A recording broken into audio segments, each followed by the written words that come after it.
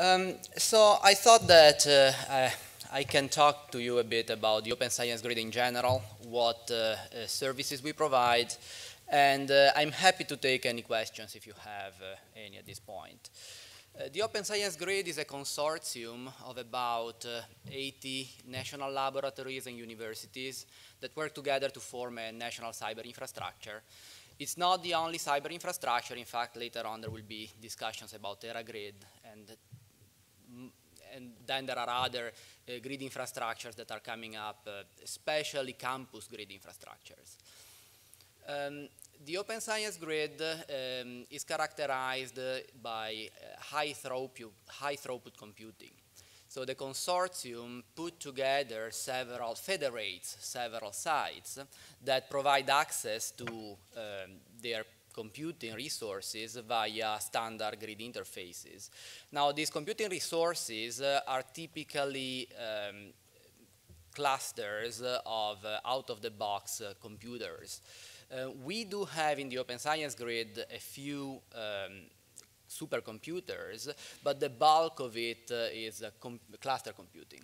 So um, the focus of the grid is then uh, what I was calling high throughput computing, which is um, not really focusing on the performance of each individual job, but making sure that the flow of job and science outcome can be steady throughout uh, all the time that you need to use it. Um, in the Open Science Grid, there is this concept of a virtual organization. So these are scientific communities that uh, typically have a common, uh, a common uh, program of work. Um, and these communities may be internally structured. There may be a hierarchy of groups and roles. Um, and the Open Science Grid gives access to resources to the communities rather than to the individual uh, the individual members of, of, the community. We have an authorization infrastructure that allows uh, virtual organization to organize uh, together with the sites their access privileges based on their internal organizational structure. Uh, now, one of the things that uh, often people ask about the Open Science Grid is how do we get access to the computing?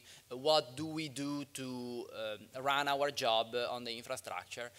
Um, there are various services uh, in the Open Science Grid that are offered to virtual organization to help uh, this process.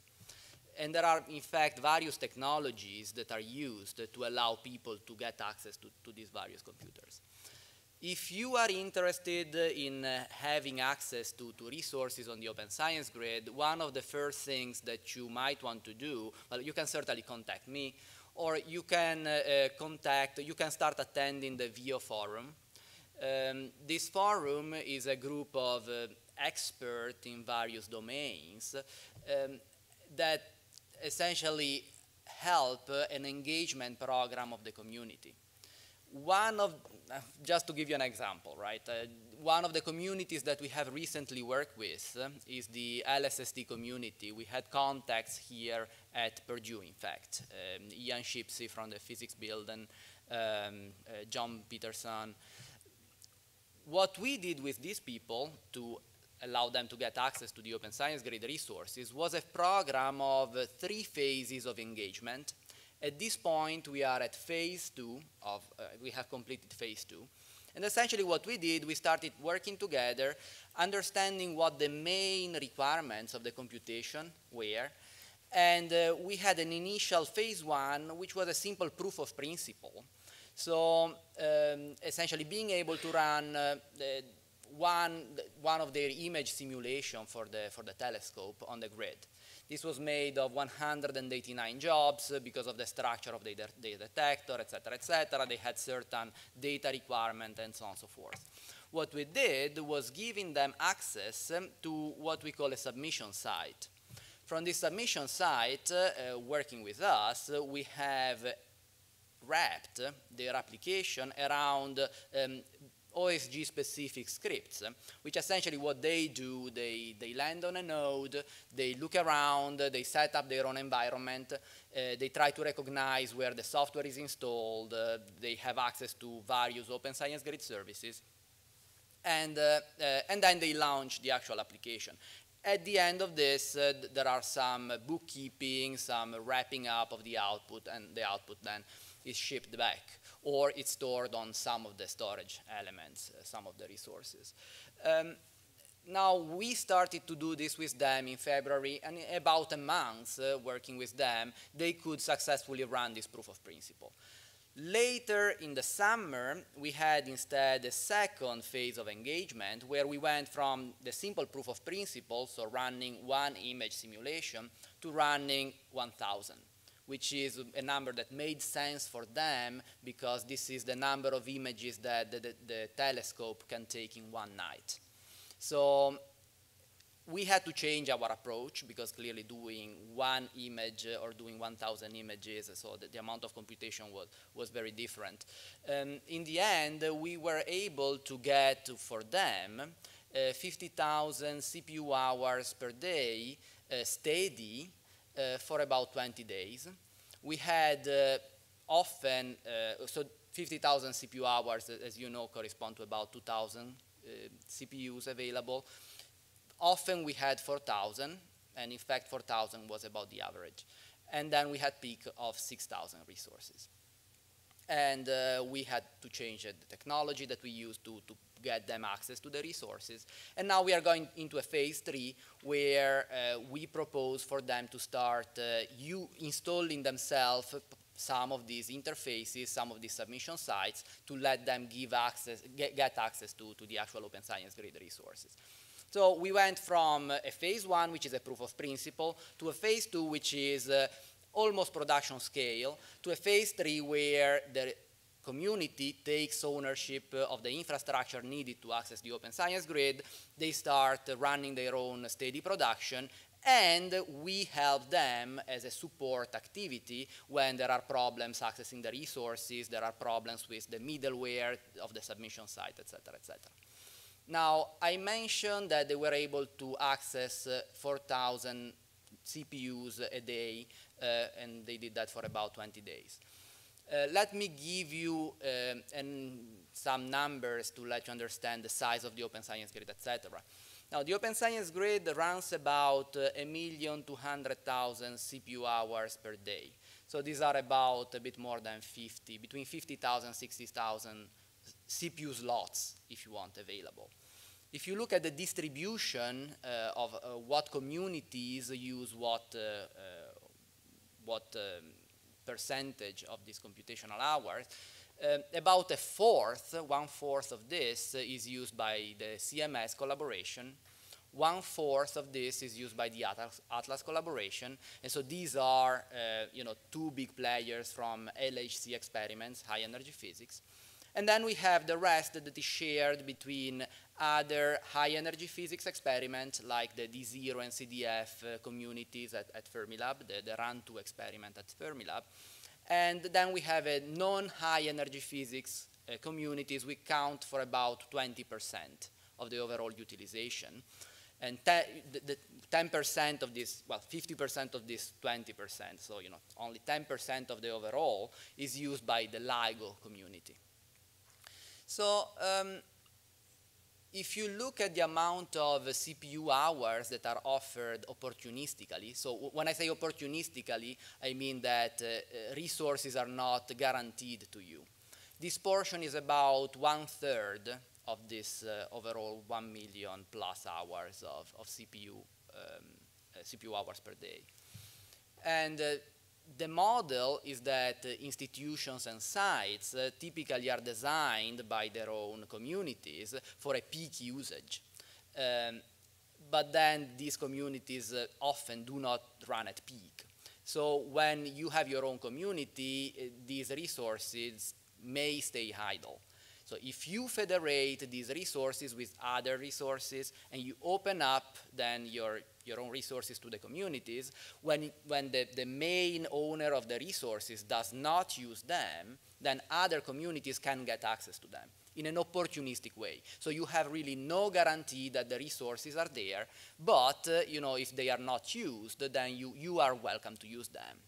And so this is the overall model of the open science grid where you know, sites get together, there is this fluctuation of utilization of the resources and, and then um, communities spill over their, their cycles on other sites that are not currently fully, uh, fully utilized. And so, um, right, 400,000 uh, CPU hours per day makes it possible for several communities that want to use the grid opportunistically to, to get, in fact, a large chunk of this. I, I said 50,000 hours, between 50 and 100,000 hours for, for LSST, for example, was what we were able to, to obtain for them. Um, now, the main goal of the Open Science Grid is uh, scientific output. So the funding agencies, which by the way are uh, SCIDAC2, so DOE and NSF, uh, fund the Open Science Grid as a common cyber infrastructure to allow the, uh, the science to, to essentially increase their throughput. Uh, often uh, scientists that they have a strong uh, science case may not be experts in, in the computing infrastructure. And uh, the Open Science Grid, among the other thing, uh, when, when the Open Science Grid partners with these communities, uh, we also offer some expertise, uh, some um, fora where people can come and talk about their science, learn about the infrastructure, and essentially support also to use the cyber infrastructure. Uh, one minute, okay. Um, just to give you a number, uh, last year the Open Science Grid helped to publish uh, something like 370 publications. And 20% of these, uh, actually 25% of these were non-high energy physics. So, uh, well, I guess my time is over. I'm happy to answer any questions you might have, um, maybe after the, the other speakers have talked. Uh, so thank you very much, and I'm happy to answer any questions. So I'm gonna, uh, since uh, Gabriel didn't use any PowerPoints, I thought everybody is waiting for PowerPoints, so um, I'm gonna go through some of them. Um, so what I like to do is really to just highlight um, a number of things with TeraGrid and how to, um, what are the resources and how to get access, and, um, and um, leave time for you to ask questions at the end. let's see. So basically, I'd like to cover, uh, just give a quick overview, what is TeraGrid, who can use it, how to get access, and some of the uh, information regarding where you can get help. So TeraGrid, for those who uh, heard it for the first time, it's a national cyber infrastructure funded by NSF. Um, it's basically a network of resources uh, and uh, provide also providing integrated services. And the bulk of it, uh, in terms of resources, the bulk of it is uh, high performance computing resources, and there are also um, other what we call special services and also data storage and uh, science gateway and a number of related uh, tools and, and applications. And uh, as you can see on the bottom, the, um, a lot of the, these detailed information can be found at the main TeraGrid website. And um, here's a map, our, one of our favorite maps showing uh, who's who on TeraGrid. So all these red dots are resource providers. So basically, TeraGrid is organized as uh, a set of um, 11 to going to be 12 resource providers, each putting up uh, resources um, to the high-speed network.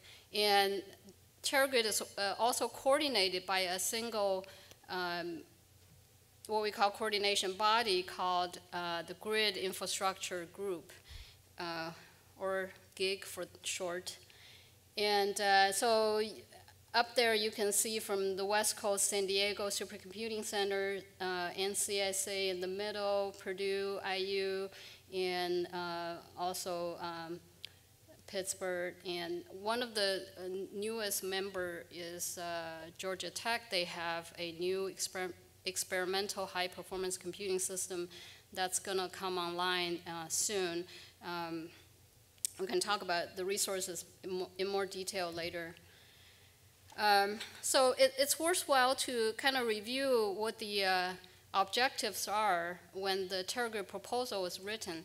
So um, the first and foremost is uh, the deep science. That's what people call it. Basically, science that um, the, uh, requires very high-end uh, computational resources and data resources that are not available uh, typically at a campus level. And there's also the wide aspect of TeraGrid, which um, really aims at broadening access, allowing um, a lot more people, researchers and students to access resources on the TeraGrid. So this includes people who, uh, who are doing um, computational science, but uh, are limited by campus resources, as well as those scientific domains that um, don't typically use uh, high-end computation resources.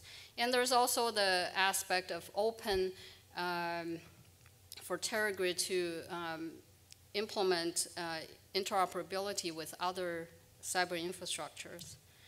And here is a snapshot of um, kind of what applications, what domains are using TeraGrid I believe this is a little outdated.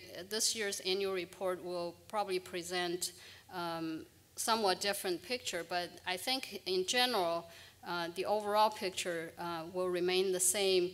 So there you can see pretty much uh, the, the domains uh, of scientists that are using TeraGrid pretty much uh, are across all the na uh, National Science Foundation's directorates.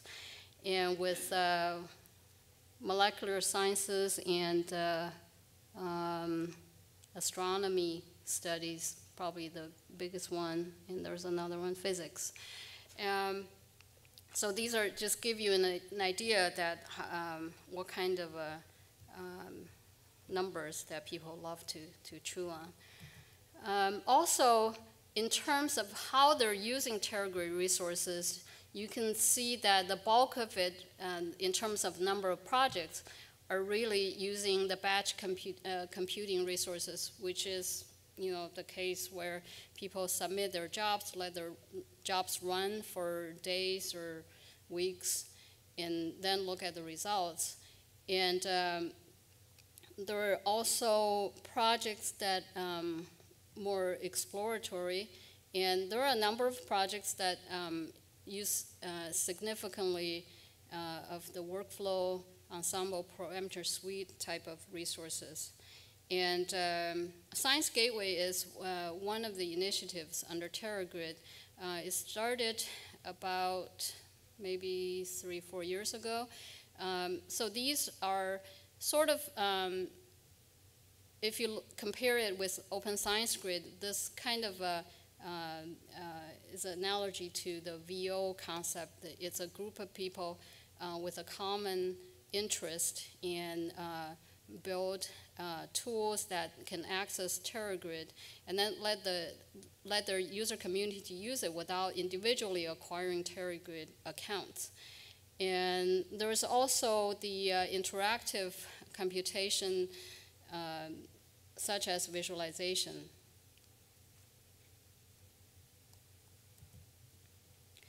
Um, since we're having this at Purdue, so I'm just going to put in a few words about Purdue. So Purdue's um, um, role in TeraGrid uh, started in 2005 when we started with a very uh, small uh, recycled cluster on TeraGrid. And as time went by, we um, um refreshed the resources, and right now, a part of Steele cluster is um, a TeraGrid resources, and also the TeraGrid users can access the larger clusters through our standby queues, which has a time limit, but they can get to uh, run a much wider jobs than uh, the nodes that TeraGrid owns. And Purdue also has uh, the the Condor pool on TeraGrid as the, the only high throughput um, computing resources in the mix. And um, this picture shows um, a very similar um, graph for the kind of scientific fields that are using uh, the resources at Purdue. And um, there are a great number of science uh, projects running on TeraGrid. Every year, uh, TeraGrid puts out uh, two uh, highlights brochures. One is um, a collection of stories uh, of science applications that have been um, executed on TeraGrid. And this is uh, the newest one this year. Um, we're really proud of one of our staff members uh, on the TeraGrid team that he's worked with uh, in collaboration with uh, one of the Purdue communications faculty who's studying the um, interaction and collaboration behaviors of internet users on social networks uh, or social, what do you call it, uh, Wikipedia type of uh, systems. And so this is a graph that shows the um, relationship between users and the articles they edit um, and giving the researchers insight on the behavior, um, the characteristics of the behavior that they are um, probably different from what's perceived um, by a lot of people. And uh, there is also a brochure um, every year that highlights the uh, education use of the TeraGrid. Um, and uh, all these are available, and um, I have information at the end of the slide that, can find. And every year there's an annual conference where people showcase their scientific work and uh, um, various visualization uh, showcase pieces, uh, posters, and student competitions. Um, so it's a major fair for the uh, TeraGrid community, and the next year is in Salt Lake City in July. Um, so when it comes to the um, list of resources, the, the TeraGrid resources have been changing. The new ones uh, are uh, being funded um, periodically, and um, the, the major uh, computational resources, there are three categories, the massively parallel uh, systems and shared memory systems and the um, clusters.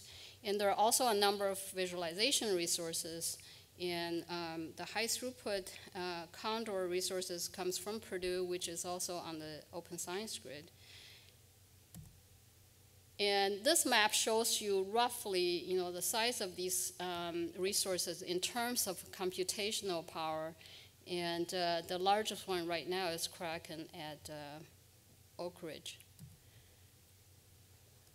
Okay, so um, that's a lot of uh, different resources.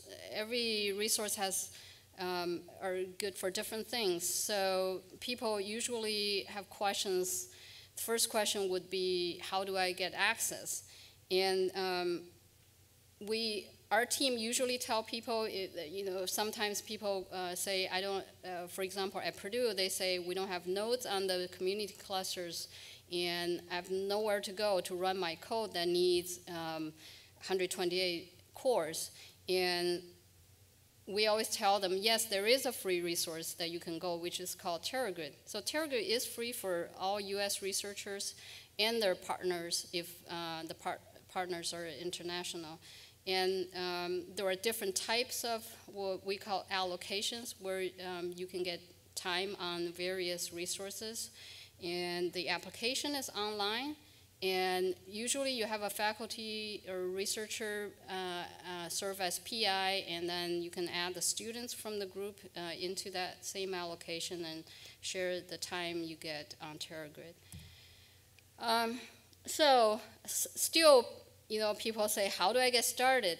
And um, the, the one resource, I, there are many um, services and help you can find if you're very diligent and uh, dedicated. Now, the one resource that I like to point out is the Campus Champion program uh, ter uh, with TeraGrid. So the idea there is that you have these uh, representatives on each campus who has the knowledge of TeraGrid, who has accounts that uh, they can add you to it so you can get started right away. And they also, um, I heard rumors they have direct ac- access to TeraGrid staff, so they sort of have a uh, fast path. Um, so um, the leader of this program is uh, Purdue's Kay Hunt, who's also uh, the organizer of this uh, event. And um, I also um, has a title, although she, she already has many titles, I have another title, Champion of the Champions, which is our very own uh, Kim Dillman. So uh, even though she's out of Purdue, uh, she's available to a, a, lot of campus champions uh, at other campuses, and um, she's really good about answering questions. So I put her picture there so uh, you can uh, um, ask her questions afterwards. Um, Okay, and some of the things that um, I'm showing two examples that what uh, Kim does to help users. Um, in this matrix, complex matrix of all the resources, different characteristics, and, and usage modes, um, it's very hard to navigate for a new user. You know, which one do I apply, and how much time do I need, and all sorts of questions. And Kim um, came up with a, a, tutorial that really helps people to sort these things. And she even has the ABCs of TeraGrid. I've never seen such things from TeraGrid, so um, that should be help. And uh, this is another example that Kim created because there's so much information. Um, she actually came up with a spreadsheet that uh, tells you uh, almost like everything you ever want to know about TeraGrid resources. That's what I call. And then you basically go to the spreadsheet and you can find um, something that fits your needs. Um, so uh, basically, the takeaway points for these are um, it's free. Uh, if, if, you do compu computation, you should uh, consider using it. And help really is not that far away, uh, even though uh, sometimes when people think of TeraGrid, oh, there's a TeraGrid Central, it's somewhere in NCSA. Uh, we don't know their phone number or, or things like that, but um, you can look around your campus. In um, worst case, you can always get hold of Kim, and she'll help you. And I, will um, put up the, uh, all this information, and um, feel free to contact us. The main site, uh, if you want to find out more information, it's at teragrid.org. And um, there is a resource catalog there. It describes every resource, uh, TeraGrid resource that is, available, uh, that is available right now and their status. Some of the resources are new and uh, they're probably in pre-production uh, status, but that's the place to go. And uh, there is also, for, for specific to Purdue resources, the Purdue has a TeraGrid website. And to access the system, a lot of people, the, the veterans of uh, high performance computing, they just do SSH from whatever client tools uh, of their favorite. And um, for people who are new, there's also, uh, you can also access from the um, user portal. And uh, Purdue also uh, putting out a, a hub zero-based web portal for accessing TeraGrid, and uh, we're in uh, early release, and we're um, um, soliciting early users for that. And that's um, pretty much what I like to say. Hello, everybody. As you heard, I'm the project manager for Blue Waters, and I spend all my time with the nitty gritty details. And so it's so exciting from time to time to come and see the high level picture and get excited about the project again, not be so frustrated. so, um, Blue Waters. Um, it's part of the NSF uh, strategy for um, high performance computing. Okay. Um, NSF envisioned this on three levels. Track three, their university resources. Track two, more ambitious um, computational resources, which are also part of TeraGrid, and Carol just talked about several of those. And we're at the next level, track one, a very powerful uh, system that will uh, reach a sustained petaflop performance. And this is the actual text that we had in, um, in the solicitation that came from NSF. And what they're saying there, and you have to parse this, we're talking about petascale performance, but we're talking about sustained petascale performance. And I think this is the most important difference uh, in what we're doing. We're not so interested in the peak performance, we're interested in sustained performance. And why is that? Because we want to serve the users. We want to give them a system that they can use for different areas, for different types of algorithms, for different um, research topics. Um, therefore, we're not only interested in the performance per core or the parallel performance, but we're also interested, as the solicitation actually said, um, in the amount of memory that we're uh, putting at the disposal of these users and um, um, the, the type of I.O. that will enable them to work with large data sets. You just mentioned uh, LSST, and that's a perfect candidate for this kind of a system. And here is what we're think, what we had in mind when we started the specs for this computer. We, we talked to different vendors, and this is what we came up with. And the, the way we came up with this was talk, by talking to different people. We talked to several researchers from many universities. We even talked to people from uh, industry. We talked to people from Boeing, from other areas to see what do you actually need? Where does it hurt? What do, don't you have at this moment? What does a new system need to provide? And um, based on what I heard here earlier, I will go really fast over this next slides, which talk more about the architecture of the system. Um, I look back, and there were several talks I put to you about the Blue Water system, and I don't think that's so relevant here.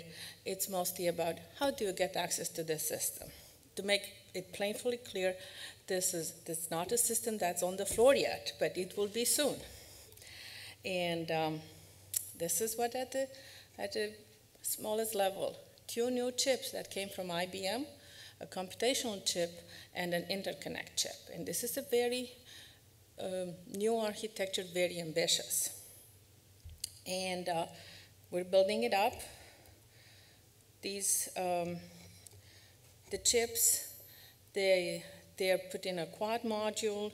Then we have these drawers, building racks, and then blue waters. And um, what we're trying to achieve, and here I'm comparing our system to Kraken, which is what we consider the most powerful system in TeraGrid at this moment. And um, you see, oh, there's one more here, that we're very ambitious on several levels. Uh, we want to achieve a peak performance that's about four times larger than the, the one currently available. Um, look, for example, at the memory bandwidth. Uh, we will have around 300,000 cores, uh, which is a little bit more than, than what, oh, this is comparison with Jaguar, sorry, that's what I meant, Jaguar. Um, um, but the chips are actually more powerful. Um, very, um, very powerful in terms of the storage and this transfer. We, uh, established this partnership with IBM, and IBM is under a contractual obligation to deliver to us the hardware and the software that will make this machine run. Um, we looked at this, we have a lot of collaborators from the computer science department, and we realized that there are some areas where University of Illinois and some of other partners are very strong. So we're complementing the, the software that is delivered by IBM through pieces that we develop in-house. And here the color coding of that software system. Blue is IBM, and then the orange goes Illinois, and we have some areas where we collaborate.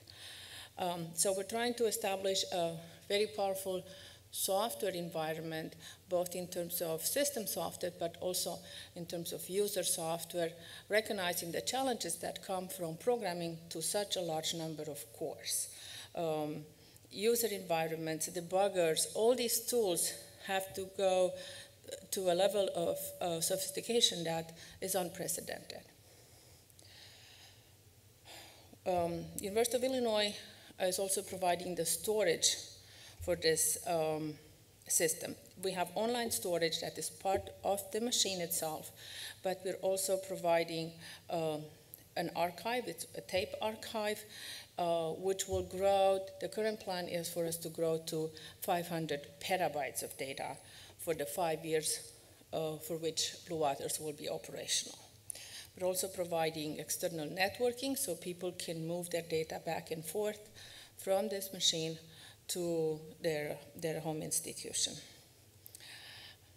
We also built a building.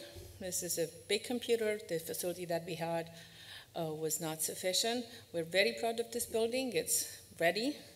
It's a very modern building, very efficient. If you look there in the corner, it has a PUE at this moment estimated between 1.1 and 1.2. Typical data centers will go around 1.9. And this is the, the ratio between how much power goes into the building and how much is used by the actual computer. Um, besides uh, those activities that relate directly to the infrastructure, we also established an educational program around the Blue Waters project. We had, uh, for example, a virtual school. Um, we also have an undergraduate educational program. For the virtual school, we had three summer schools this year, and I would like to draw your attention to the fact that we won, we had 70, 725 students. And we grew this program. We started with 42 participants in 2008, and then we grew it to these uh, impressive numbers. Um, the courses were offered at Illinois, some of them, some of them at remote sites.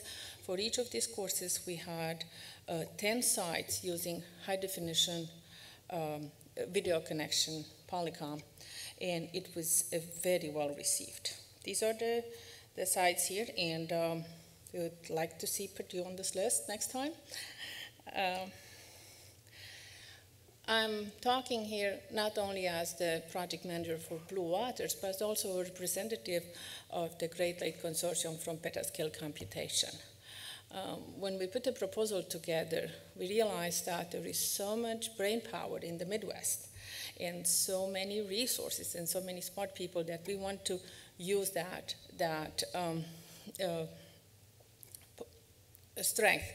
Um, well, we called this the Great Lake Consortium, but then so many people got excited about our plan. So geographically, it might not reflect the Great Lakes unless you count some smaller lakes in Texas. I don't know, but we, um, this is the the the. Um, these are our uh, charter members of the Great Lake Consortium, and um, of course, Purdue is on the list. Um, the Blue Waters uh, system will be used for a variety of, of uh, science and engineering application. Uh, NSF has already, um, so this is just a teaser here. Um, NSF has already launched a um, a program for applying to blue water resources. It's called the PRAC solicitation. You, that's the link to the NSF site. And um, NSF has already made a first round of, of awards, 18 PIs. And this is basically a, a, very important difference that we have between TeraGrid and, um, and Blue Waters, that we're going not for thousands of PIs, but of tens, maybe hundreds. So therefore, collaboration is very, very important. The next round is in March uh, this coming year, and here is basically why you have to apply to PRAC for a PRAC award. This is the main avenue to get a blue water allocation. In the meantime, we'll also get you a lot of support from NCSA. If you don't want to apply for the PRAC award yet, there are other avenues, and this is work with the consortium. And here you have some names here. Um, you can talk to Maxine, she's the GLCPC president. There are two people here at Purdue that are members of the consortium. They are an excellent resource. Uh, the um, consortium will have access to some cycles on blue waters, and that's a very, way, very easy way to to get access to the system. We also have a lot of educational activities. If you or your students are interested, these are all open. Scott is our representative. Just get in touch with him, and um, and um, um, um this will be a very exciting uh, project, and it's going to be on the floor very, very soon. Okay, thank you, Carol. Um, so I'm going to talk to you today about uh, the notion of a campus grid. Uh, if we, if we uh, I like the, all, all four of these presentations are here together because it kind of gives you a nice picture. If you think of the national cyber infrastructure as a pyramid, uh, Gabriele mentioned that the OSG is a consortium of, of um, universities who can share their resources together. Um, the TeraGrid is a higher level in the pyramid, which gets more powerful resources and less users. And obviously, Blue Waters is the very tip top of that pyramid. Very powerful things for much less, uh, a much lower number of people.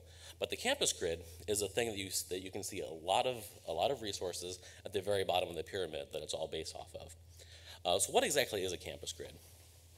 Um, I, I always tell people that fundamentally the campus grid is just a way to share computing resources. Um, when you say campus, it's not necessarily a college campus. Many other places um, implement campus grids, whether they're corporations, national labs, anything that, that, that um, has a common environment. Um, it allows an institution to build a cyber infrastructure using its existing investment in information technology. So the institution doesn't have to go out and spend millions and millions of dollars to build a Blue Water type of machine, or even a machine like we have here at Purdue, like Steele or Rossmann. Um, who, uh, who are the people that do this? Uh, Purdue obviously is, is, a, is a place that does a campus grid, but we're not the only ones. Um, as you can see here from the graph, there's a number, of the, the picture, there's a, a number of, in, of universities that do this. Um, certainly, I know several of these are represented here. I think there's folks from Indiana, Notre Dame. Um, Wisconsin obviously is, is a major campus grid um, proponent for reasons we'll learn about here, here in a bit. Fermilab has a very large and active campus grid and a number of uh, financial services uh, institutions and, um, and companies use, use campus grids to um, get work done on machines that they've already paid for and that are already sitting there sucking down power, uh, just waiting for something to do. Um, just as a side, you've heard over the last couple of days, you've heard the word Diagrid mentioned. Um, Diagrid is a Purdue-led consortium of a number of institutions that have agreed to share their their resources together. So not only can a campus grid share unused resources within the institution's boundaries, but with just a little bit of extra technology, um, uh, those of us here at Purdue can share our, um, our unused machines with our neighbors up at Notre Dame or Wisconsin or, or even with Indiana. uh, so about resource sharing here at Purdue. Uh, we've already heard several times about our community cluster program. This allows us to combine our faculty's resources into one larger machine and, um, and share the idle capacity with, uh, with our colleagues at the, at the, um, university. And this, uh, this is definitely something that I know Gabriele referred to during, during his presentation. And um, we also use cycle scavenging. Uh, Purdue publishes a data digest every year with facts and figures about, uh, about the university for whoever wants, wants to know things. Uh, in 2009, the publication said that there are 27,000 desktop computers around campus. Um, so assuming a conservative estimate, if, these, if a lot of these machines are a couple years old, if there's two cores for each of these computers, that means that right now, sitting out there in people's offices while somebody's eating lunch, there's 50,000 cores of computing capacity lying there unused. Uh, and, and, that's at Purdue alone. So in order to share these cycles and uh, scavenge these from around campus, we use a software package called Condor. So Condor, this, this could mean a lot of things. It could be a, a cheesy 80s movie or a, or a scavenger bird. Or in our, in our case, uh, Condor is a software package developed uh, at the University of Wisconsin. Condor's been around for probably getting on 20, 20 years now. It was started as a hunter of idle workstation uh, when, machine, when workstations were uh, much more scarce and you'd only have a couple of DECstations or something sitting around your, your, your department. So when you're not using these, they're very expensive um, and, and, um, and you, could, you could share it with, with your colleague down the hall. You run your simulation while he goes out to lunch and vice versa. Uh, today, it's evolved into a general purpose batch system. I know Fermilab runs um, thousands and thousands upon nodes, node clusters with Condor as its batch system. Uh, it has work workflow tools uh, um, that can, that can handle your workflow. It would do job dependencies, send off more jobs, manage job submissions into TeraGrid or the Open Science Grid. Like I, I, I know the LSST folks have used, um, used Condor DAGMAN and other things and Condor glide-ins um, to, to make their work possible that Gabriele described. So Condor is a technology that makes our campus grid at Purdue uh, possible. So when a, when a machine's not used by its owner, Condor can run real codes on it. So our community clusters and the Condor resource are, are inextricably tied together. Condor runs on the cluster nodes uh, when, when, the, when the machine's owner isn't using them through its primary batch system, PBS. Uh, Condor is free to schedule jobs on it. So we've got a couple little, couple extra layers of cycle scavenging there. Uh, this, this graph kind of gives you a picture of, of, the, of the extra little, little bit of usage we can squeeze out of a cluster. The, the red here is what Condor perceives as machines being used by their owner. In this case, this is the, the PBS usage of a cluster. In a lot of cases, it looks like it's probably oh, 90% or so utilized by the cluster, but on a 15,000 node cluster, 10% that's not used is a pretty significant chunk of processors. So by running Condor in this manner, we can get nearly, uh, I think we ran a number once as probably 98.3, uh, 99% uh, utilization. Just a little bit of blue there that shows that it's not being used by anybody. So not only on the HPC clusters can we uh, scavenge cycles, but we've got um, Condor that we can run on desktops. I, I, I used a figure of 27,000 machines around campus uh, that are theoretically available. Uh, today we operate, we run Condor on our centrally operated um, student labs. There's machines all over campus. There's one down the hallway that I'm sure a number of you saw that the students, when they're not checking Facebook or, or, or, or tweeting, are um, just sitting there doing nothing. And in these cases, a lot of these are quad core machines, eight gigs of memory, and you can do some real science on these things. So we run Condor on about 8,000 cores of that. Uh, people who who have centrally supported uh, DEX desktops can get Condor submitted, um, installed remotely by their administrator. Um, and kind of as an aside, for those of you that aren't, at, that aren't from Purdue, the I, IT is moderately centralized. We do have a, a, central office, and a lot of people have some sort of, a, of, of reporting relationship uh, to, the, to the central. Um, but large numbers of those 27,000 machines aren't operated by ITAP. Um, there's distributed IT organizations all around campus. For example, the College of Engineering, Computer Science, Management, uh, and so on all have their own IT organizations. And in many cases, there's a lot of machines. Engineering alone, I think, has four or 5,000 machines that they operate um, that, that we have to work with their administrators to, um, to uh, get, uh, get cycles from them. So, so we, we want, it's in our interest to make this as, as easy for them as possible. We provide uh, pre-configured managed packages to make it easy on the administrator. So here, take this exe file that, that installs Condor pre-configured uh, Linux package and so on. Um, but but the, uh, the key takeaway from this is that building a campus grid on your campus, if you're interested in doing it, it's not really a technology problem.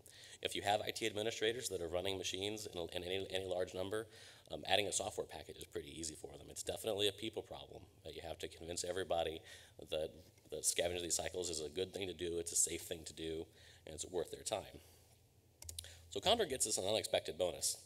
Um, over the last year or two, uh, we've been um, asked to um, save some money, uh, $15 million, in fact, of, of IT cost savings over three years. Uh, one of the nice things about this is the power, the power reduction um, counts. So if we're able to save the power that people are um, drawing on their workstations, then that's a win for everybody. Um, and fortunately, as luck would have it, Condor is now capable of managing power on these machines. So when there's no work to be had, um, Condor can say, well, you know, Carol's desktop isn't doing anything, so I'll just send it a, a hibernate command and it'll, and it'll, go to sleep. It won't draw any power. Um, so this is a win for everybody. Both the scientists and the accountants get what they want. There's a dashboard that we're, that we're working on prototyping to show um, how much power somebody can save there. You can see kind of at the top that the College of Science Administration has been gracefully testing this out and has saved some number of kilowatts of power. So we're looking forward to having wider distribution of this in the, in the near future. Okay, great, this is, this is awesome, but how, but how useful is this? Um, the campus grid is perfect for loosely coupled serial, serial jobs, much like, the, like Gabriele described with the open science grid. And you may wonder, well, we heard about Blue Waters and the TeraGrid, these powerful machines, but who, who cares about these desktop? Doesn't everybody need a, a huge expensive cluster for their parallel jobs? So here's an example of what, of what you can do with a campus grid. A couple years ago, um, some, some folks at Indiana did a study of jobs on the TeraGrid. Uh, they found that 66% of all the jobs run on the TeraGrid over that, uh, that time span were single CPU jobs. Of those, of those uh, jobs, 80% of them ran for two hours, of two hours or less, which is a, which is a really good match for uh, an opportunistic resource like, resource like Purdue. Um, from November 2008 and to November of 2010, uh, 30, 35.4 million uh, single CPU jobs were, were run, uh, with 40 million um, with 40 million hours of, uh, of time, with an average runtime of one and a half hours. And we, we, we have heard about a couple of these science, uh, science stories here, and these are just a, a, an example of, of some of the science that using exclusively the uh, opportunistic campus grid at Purdue has made possible. We heard about the Wikipedia project from Carol just a few minutes ago. Um, several, several researches, such as, such as the, uh, the Epsilon 15 virus and the, the COMET study, were published in, in fairly prestigious uh, journals and that's all work that they couldn't have gotten done without uh, the campus grid resource.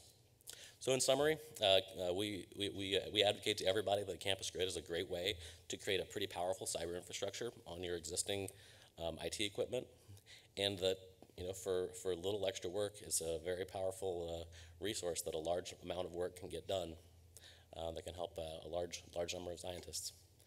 So that's the end.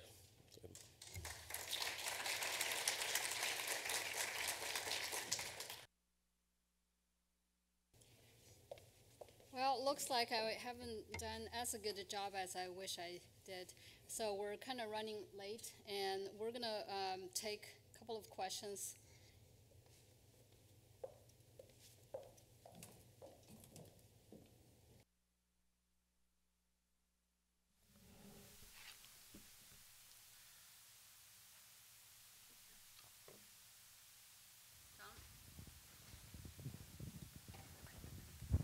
Preston, what's the most dramatic use of the campus grid and Condor that you've seen in the recent years?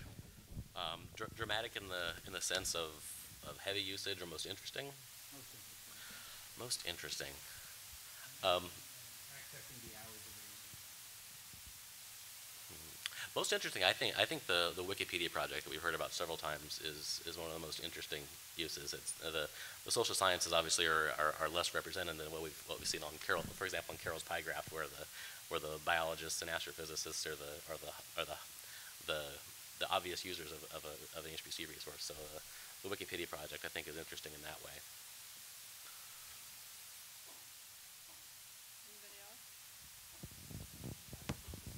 Yeah, this is for Carol.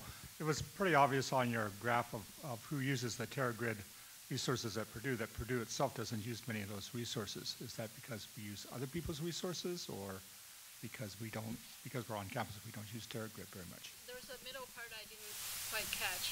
You're saying um, the people who are using Purdue resources? From Purdue. From Purdue. Oh. Okay, I, I got it. Okay. Yeah, I, I noticed that too when, yesterday when I, uh, this morning when I pulled in the figure. Um, um, I think a lot of the uh, Purdue researchers, they're using other systems uh, for, for big amounts uh, of CPU time. For example, Gerhard Klimeck, the uh, NCN folks, they, they use a large amount of time on super large machines like Kraken and, and uh, Ranger. And I also know some petascale, other petascale projects at Purdue, they're also running on Rangers because they need um, a lot of processors simultaneously, which Purdue system doesn't really give them that. And, uh, and then also because uh, some of our TeraGrid users, they, they're actually owners of the community clusters, and they use their, their um, um, portion of the, the cluster.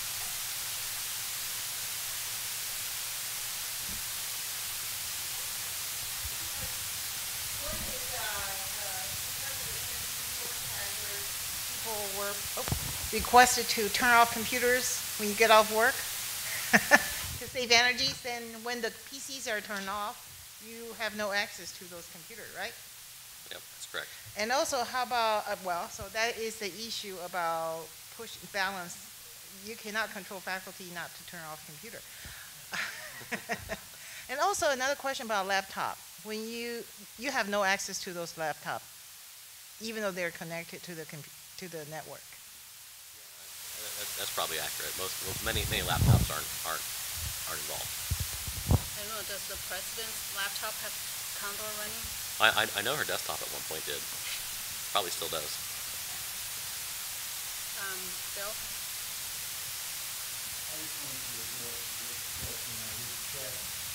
Purdue researcher allocations on the, on the TeraGrid recently. Uh, In the past 12 months, we have about 30, 32 Purdue researchers with TeraGrid allocations, and they've been wa- awarded over 56 million hours. And, and the bulk of that was on other sites like Kraken.